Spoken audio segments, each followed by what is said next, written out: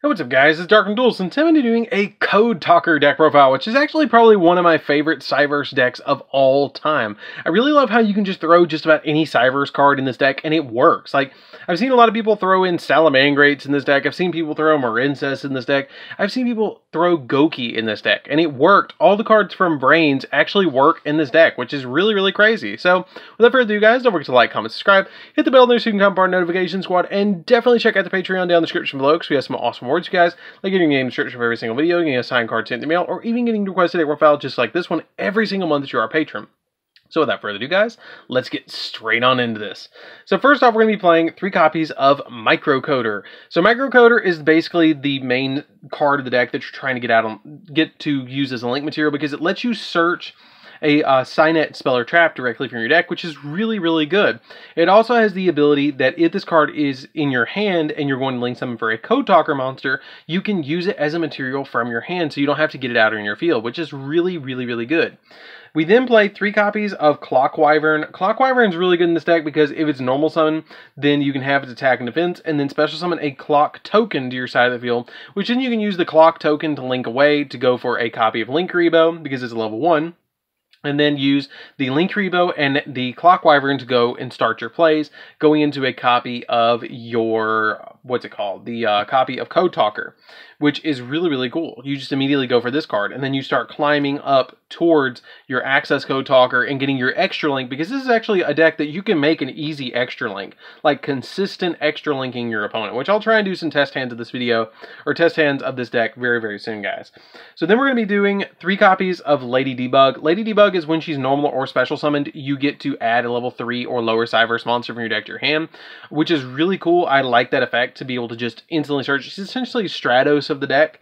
We then play two copies of Parallel eXceed. Parallel eXceed is really good. I like it as a 2 of in this particular build because the deck is really, really tight in the main deck the way I built it. And so you want to play this card just at 2 in this particular build. In 3, in Salamangreat, it's definitely a 3 of. In this deck, you can get away with 2. But what this card does is if you link summon, then you can special summon this card to a um, to your side of the field to a zone link monster points to, and if this card is normally special summon, you get to special summon a second parallel eXceed to your side of your field, which is really good just to get you an additional monster on your side of the field. Essentially, you're getting two free monsters on your side of the field. We then play two copies of Balancer Lord. Balancer Lord is a really good card in this deck because you can pay a thousand life points to get an additional normal summon of a Cyverse monster, and you can also, if this card's banished, you can special summon a level 4 or lower monster from your hand, which is really good to be able to get you additional plays off. We play two copies of Cyverse Gadget. When this card is normal summon, you can special summon a level 2 or lower monster from your graveyard, and then special summon in Defense Edition, which is really good to be able to get your plays extended so you can just get some more plays. Now, this is, the reason I play this card at 2, though, is because you don't usually want to normal summon this first turn. It's kind of more of a recovery card that you're going later in the game to get to.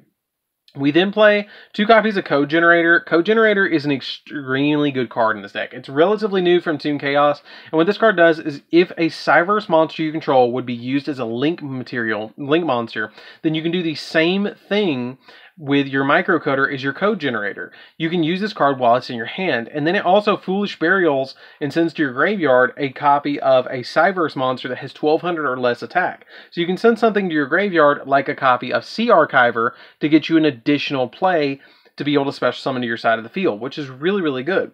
We then play a single copy of Scriptron. Scriptron is really good in here too because you can banish a Cyverse monster from your graveyard and then special summon this card from your hand. And then when this card is used as a link monster or link material, you can add the um, monster, one monster is banished back into your deck.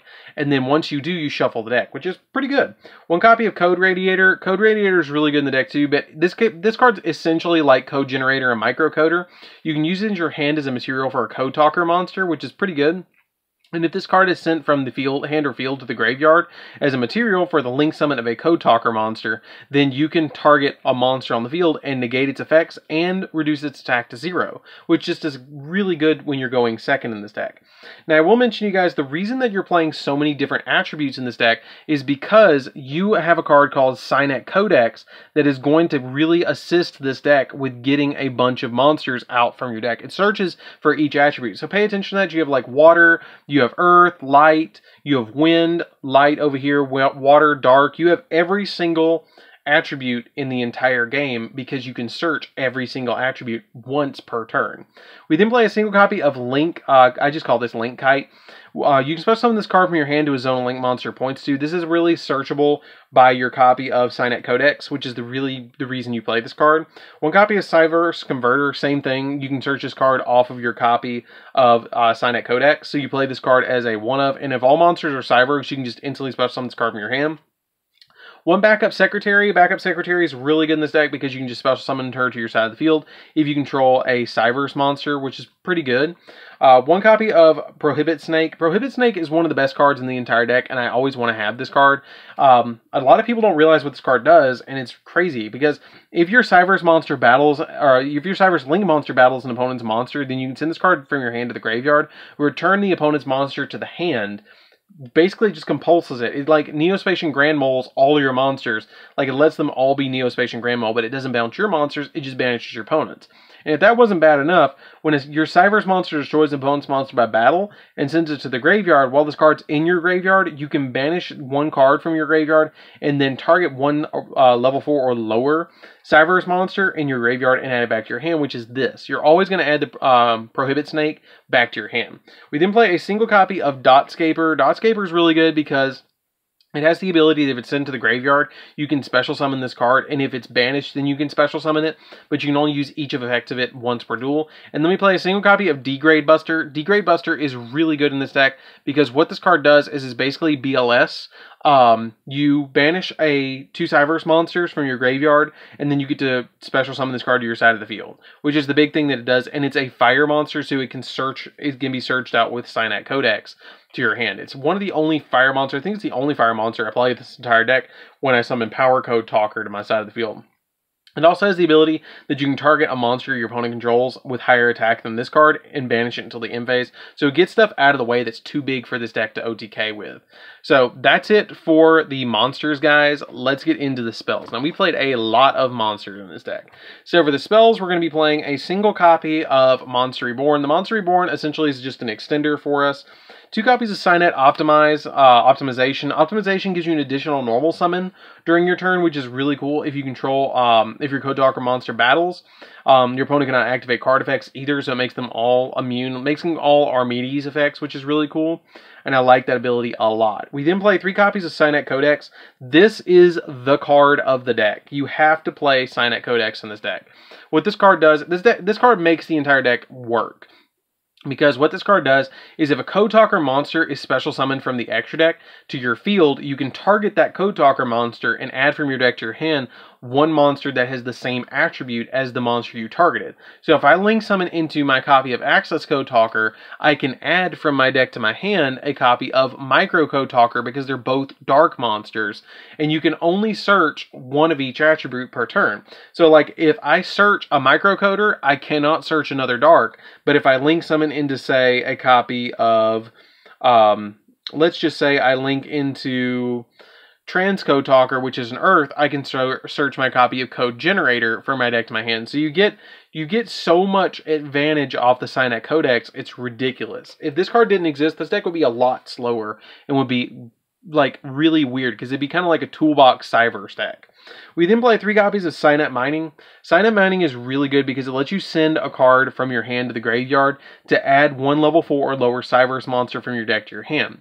It searches literally anything in the deck that besides Degrade Buster or Scriptron. That's the only two cards that it doesn't search, I believe. Um, and it's just or Parallel eXceed. It doesn't search Parallel eXceed. It doesn't search Degrade Buster and ser- doesn't search Scriptron. But it searches everything else, which is really really good to be able to search everything in the entire deck. So that's it for the spells, guys. Let's get into the traps.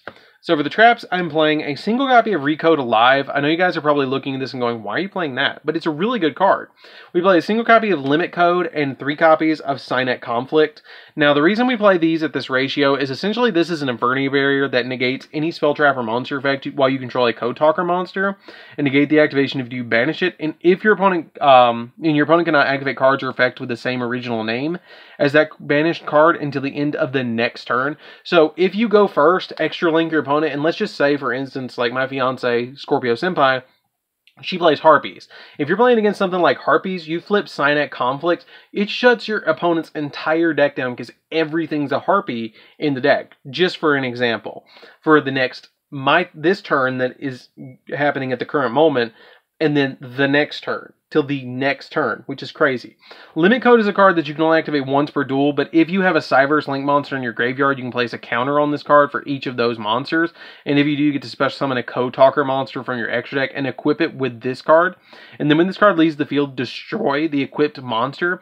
And then once per turn during your end phase, you remove one counter from this card. Um, if you can't, you destroy it. Now, it's really good to help you get your extra link, and it's really good to be able to just get on your side of the field. Because if you get like here, here, and here, but you don't have a monster up there, but you do have one up here, you can flip this and then special summon over there during your opponent's the beginning of your opponent's turn. So it's a really good one of, and also can really help you recover if your opponent like blows your board out. And then Recode Alive is really good because it lets you target a Link 3 Cyverse monster you control or in your graveyard, banish it, and if you use special summon a Code Talker monster from your extra deck, and if you control no monsters in your extra monster zone, you manage this card from your graveyard and then target one of your banished Code Talkers and special summon it. So if your opponent board wipes you again, you can banish this and then instantly get your recovery play during your turn. So that's it for the main deck, guys. Let's get into the extra deck.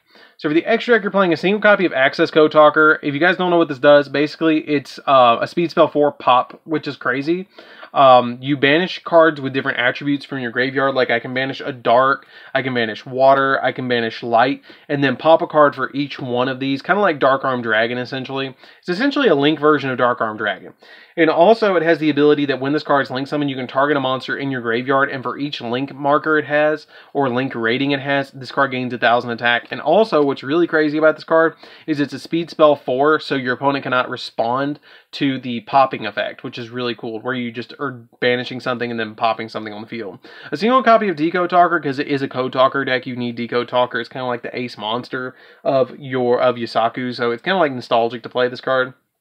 One copy of Shooting Code Talker. Shooting Code Talker is really cool because at the start of the battle phase, you can activate the effect. This card can make an attack on every monster your opponent controls, but this card loses um, this card loses 300 attack, which is really cool, or 400 attack. And then during the damage calculation only, and at the end of the battle phase, you can draw cards equal to the number of the cards this card destroyed by battle, which is really good. I like that effect to be able to just draw cards off your shooting code talker. Encode Talker, I don't go into all that much, but it is a good card just to be able to help you out with some of your plays. Power Code Talker is insanely good because it can double. You can tribute a monster this card points to, and then double its attack going to 46, um, which is really really good. And then you can target a card on the field and negate it, that target's effects until the end phase, which is also really really good.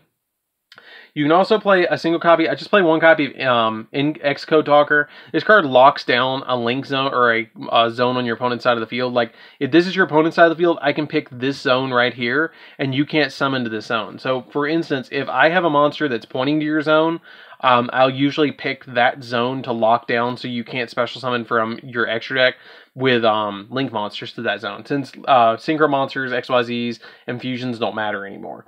Two copies of Transcode Talker. Transcode Talker is essentially Monster Reborn. When this card is summoned to your side of the field, um, it also has a really cool effect, special summon a monster to a zone this card points to, which is really, really good. And while this card is co-linked, all co-linked monsters gain 500 attack and your opponent cannot target any of them with card effects, which is really cool. And then your Excode Talker also makes it so monsters this card points do gain 500 attack. It cannot be destroyed by card effects as well. So you're basically making it so they can't be destroyed by card effects uh, here, and they're gaining a thousand attack points, which is pretty cool. But if you extra link your opponent with Transcode Talker in the in the link, then the, it's making all your monsters gain uh, 500 attack that's linked to that card. We then play two copies of Code Talker Inverted. Code Talker Inverted, if this card is Link Summon, you can special summon a Cyverse monster from your hand. So it's a really good extender. That's why I play this card as a uh, two of. One copy of Code Talker. Code Talker is really good in the deck too because it's usually the first card you go into. You're going to go into Code Talker first so you can have that downward arrow um, and it's really easy to go into because it just takes two effect monsters. One copy of Splash Magician. When this card's Link Summon, you can special summon a monster from your graveyard that's a Cyverse monster. So it's really good. Two copies of Talkback Lancer. Talkback Lancer is really good in the deck too because you have to use a, um, a level 2 or lower Cyverse monster to link in this card. And then you contribute one other Cyverse monster and then target a Code Talker monster in your graveyard with the different original name from the monster, um, from that monster, and special summon to his own card points to. So if you summon this and you're trying to recover, and let's just say they've destroyed Access Code Talker, you can tribute a monster and special summon back Access Code Talker with Talkback Lancer, which is really cool.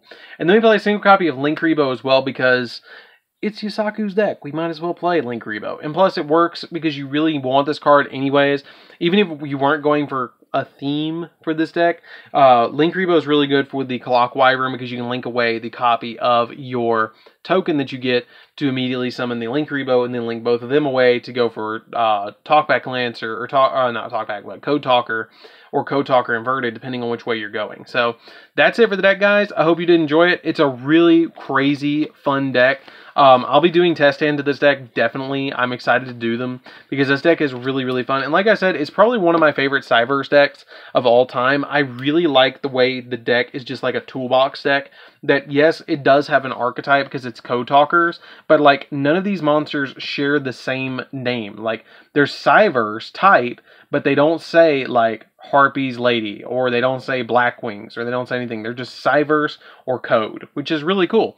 So, anyways, guys, this is Dark Armed Duelist. Don't forget to like, comment, subscribe, hit the bell next to become part of notification squad, and definitely tell me what you think of this video down in the comments down below, and check out that Patreon down in the description. We'll see you guys in the next video. See you later, guys.